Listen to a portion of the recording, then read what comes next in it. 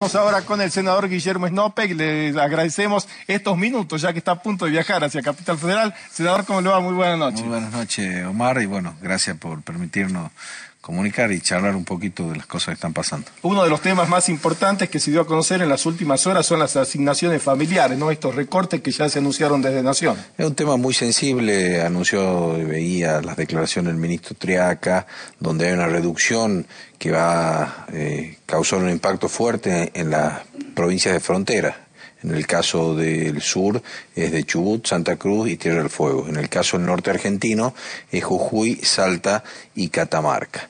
Es más, la, propia reglamentación donde establece esta diferencia, donde duplica la asignación para esta zona, es para eh, poblar, fijar eh, eh, raíces, digamos, y poblar nuestra frontera. Acá apunta con dos cosas claras contra nuestra producción. Primero, afincar la las raíces de quienes viven en zona frontera. Y segundo, todo lo que está vinculado a la actividad minera en nuestra provincia, que quiere dar un impulso muy grande y que eh, abarcaría a los trabajadores de esta actividad, ya que son los que están registrados, tienen un empleo eh, de la actividad privada. Bueno, creo que esto marca las claras de que eh, las políticas que se están llevando a cabo por el gobierno nacional, que lo hemos reiterado a lo largo del año pasado, es un gobierno unitario, centralista, donde ve solamente Capital Federal y Gran Buenos Aires. Es más, lo dice expresamente. Mm, en cuanto a la provincia, las localidades más afectadas serían las de La Puna. las localidades de La Puna, todo el cordón fronterizo.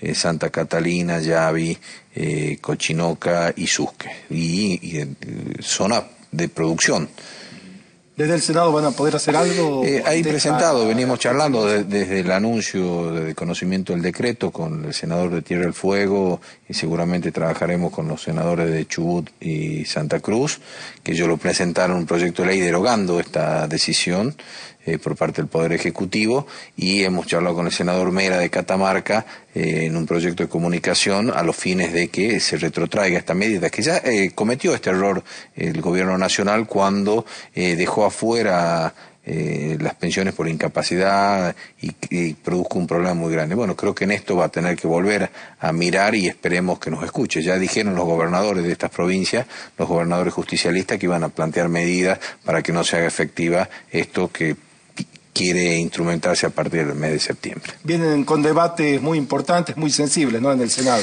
Bueno, mañana al mediodía se da la, audiencia eh, donde va a, la propuesta para la Procuraduría que está vacante, eh, la Procuradora General, eh, la doctora Wayne, a los fines de dar su exposición y esta propuesta que viene del Poder Ejecutivo para cubrir esa vacante. Bueno, mañana a, la tarde se va a dar esta audiencia donde está previsto en el Salón eh, de las Provincias, que es un salón grande, donde se espera la concurrencia de no solo los senadores que integran la comisión, sino todos los senadores, ya que es la que va a defender los intereses del Estado Nacional. En el orden político, en estas horas se esperaban novedades en cuanto al Partido Justicialista al futuro. Eh, ¿Tiene alguna información concreta no, sobre no, esto? No, no, estamos, estamos esperando y vamos a, ver qué es lo que resuelve la justicia. Por eso, en su oportunidad, lo hemos manejado con la prudencia del caso, donde hubo una intervención judicial, una, una decisión de la doctora Servine Cubría, que es la, la, jueza con competencia electoral y bueno, creo que en estas horas eh, se está a la espera de esta noticia.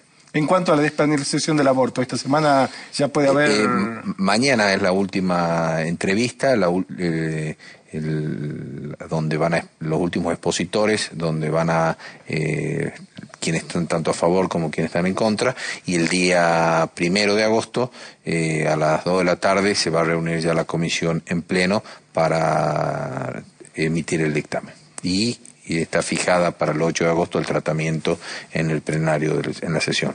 Bien, señor, nos enseña que ya tiene que viajar hacia Capital Federal. Eh. Agradecemos mucho. No sé si queda algo más pendiente no, para a disposición para informarle. Creo que no solo esto de las asignaciones, la, la, designación de la fiscal y bueno, lo que ha generado el debate en la sociedad de, de, Jujuy con el tema de la interrupción voluntaria del embarazo que ha provocado mucha conmoción eh, en la sociedad jujeña. Muchas gracias, lo esperamos a la vuelta para tener novedades de todos estos temas. muchas gracias a usted y escuchaba, digamos, en la radio antes de venir acá del obispo que invitaba a una marcha en favor de la vida y bueno, eh, creo que estas son las iniciativas que nuestra eh, cultura nos, nos permite eh, fortalecer y nos da el doble, la doble obligación de ser la voz de los jujeños en el Congreso de la Nación.